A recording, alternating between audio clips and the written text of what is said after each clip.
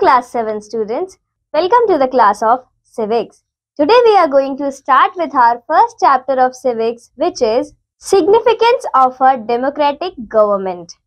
Learning objectives, universal adult franchise, how is an election conducted, coalition government, election, the rule of a political party in a democratic state. Let's warm up. Look at these pictures and name the given personalities. Do this by yourself. A. Identify these persons. B. Which countries respectively do they belong to? C. Mention some features of their governments. Application skills. Read about it and write it in 100 words what do you think could be the basis of inequality in these situations and why did they prevail. Racism in the United States of America.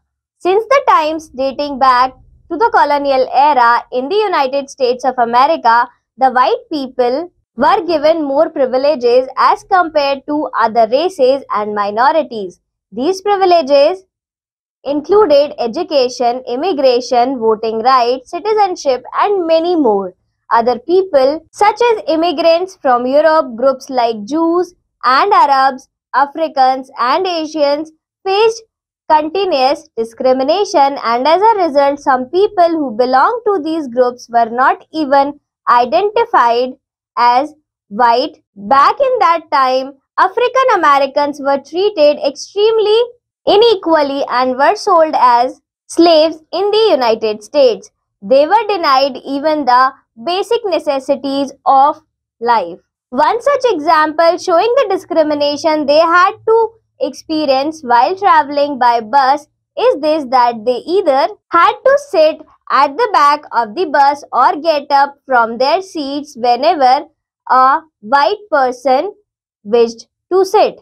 This led the people to revolt and start movements such as civil rights movement. Then in 1964, the Civil Rights Act was passed that criminalized any kind of discrimination on the basis of race, religion or caste. Universal adult franchise. Democracy is based on universal adult franchise system. This means the right to vote is given to all adult citizens of a country without discrimination based on factors such as region, religion, caste, gender, property, language, and educational qualification.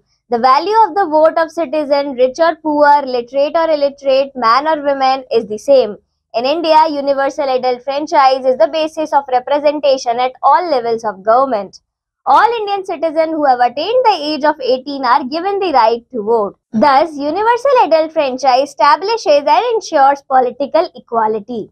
It secures a truly democratic government and make the government accountable to the people. Election In India, elections to the parliament and the state legislative assemblies are held every five years. The Election Commission of India is responsible for conduction of free and fair elections. It is an autonomous constitutional body which was set up in 1950. The Election Commission is a three-member body headed by the Chief Election Commissioner.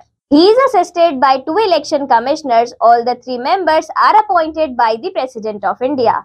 The Election Commission announces the dates of the elections and code of conduct to be followed by all political parties and also announces the result of the elections. At the end of the election, the Commission submits a list of the successful candidates to the President. The Election Commission also prepares the voter list before the elections takes place. The voter list contains the names of all the people who are eligible to vote. The commission then issues the electoral photo identity card to all the eligible voters who are required to carry it when they go to cast their vote. Voting in India is done through a secret ballot. This means that the vote cast by each voter is kept confidential. Election process. India is a constitutional democracy where regular, free and fair elections are held. These elections determine the composition of the two houses of parliament. The states and union territories, legislative assemblies and presidency and vice presidency. For this, a notification is issued by the President of India. The electoral process begins as soon as the notification is issued. Constituencies for the purpose of election to the Lok Sabha, the country is divided into 543 constituencies. or small divisions. A constituency is the geographical area that an elected candidate represents. Constituencies are created on the basis of the size of the population. Every constituency elects one representative. There are some reserved constituencies from which only those candidates belonging to the scheduled caste or scheduled tribes can contest elections. Types of elections through elections, the citizen elect members of the parliament and state legislatures. In order to conduct an election, the country is divided into different divisions called constituencies. In the loop, Prem Bihari Narayan Raizada wrote our constitution. Born in the family of calligraphers, he learned the craft from his grandfather, but he wanted his name on every page and on the last page, his name along with that of his grandfather. The request was readily granted and he was given a separate office in the Constituent Assembly. The elections which are held for the state are called assembly elections and even at the local level elect the panchayat members. How is an election conducted?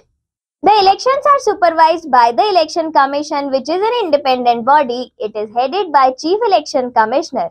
The Chief Election Commissioner announces the date of election and ensures that elections are done smoothly. The Commission prepares a voters list which has the names of all adult citizens in the country.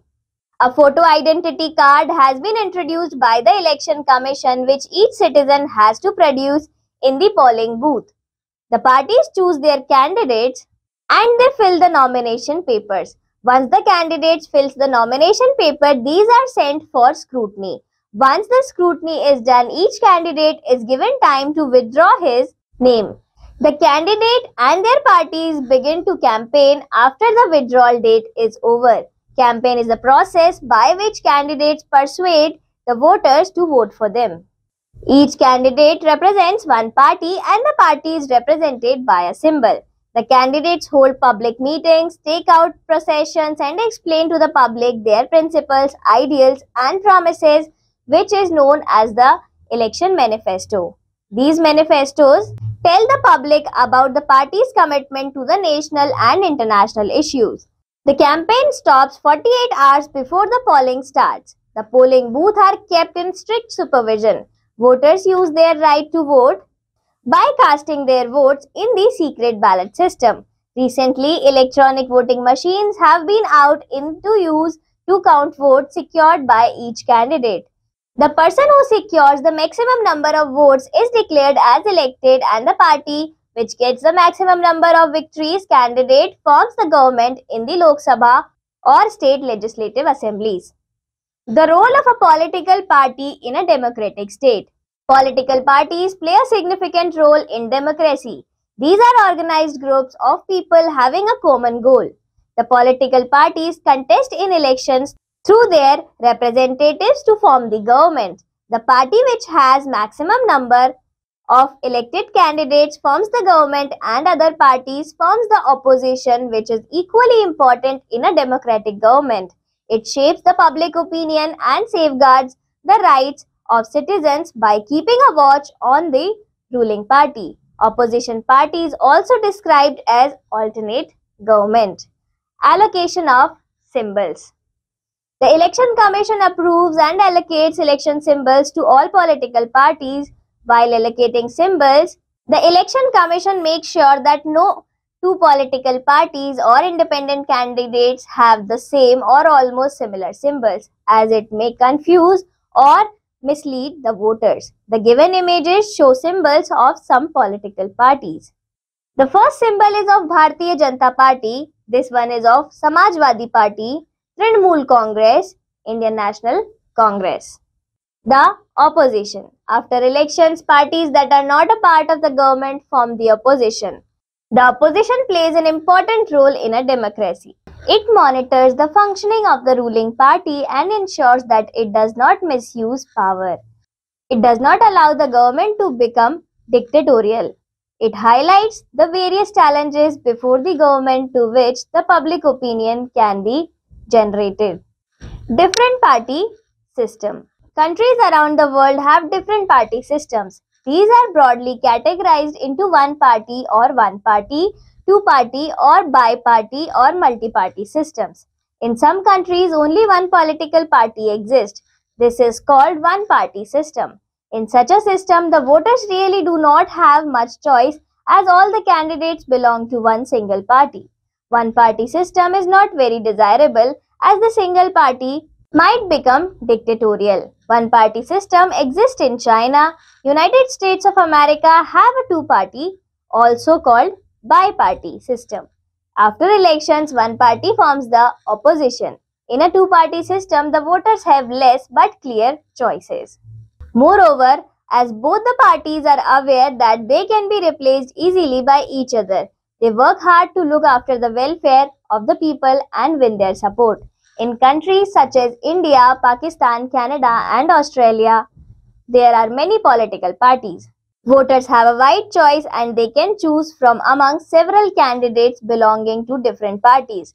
This is called multi-party system. In such a system, while numerous political parties claim to represent the aspirations of different sections of people, the voters are often confused. Sometimes after elections, no single party gets the majority to form a government. Two or more parties come together to form a coalition government. In India, there are two categories of parties, national and regional.